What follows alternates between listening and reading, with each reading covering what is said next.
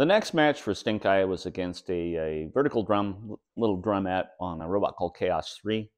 Um, and uh, this fight didn't go exactly the way I wanted, but it was kind of interesting. So watch it and see. Two, one.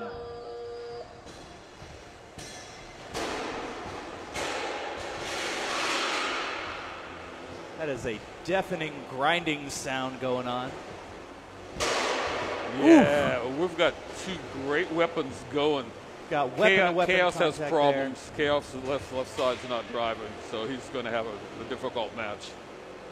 Now There. Ray, Khaos just being bullied around here. Stink Eye. he is about to get bullied around because Ray is hunting. Oh! oh, nice. Re- Khaos 3 landing No. a great defensive hit. no. And then a piece of his weapon sparked I- off. I could be wrong, but I've never seen this happen to a Ray Billings robot, which means, of course, it happened. It is times. just stuck on its side. Yeah. Or on its back. Yeah. Something that some of us are famous for having happened to them. Khaos showing some motion as the countdown concludes. That is a knockout. Khaos 3.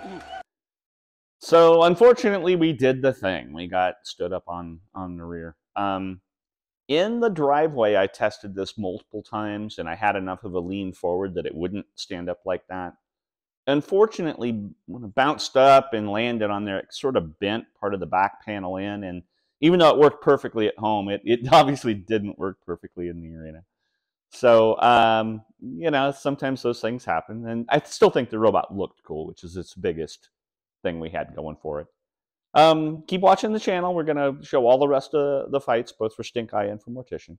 So we have more stuff coming down the road.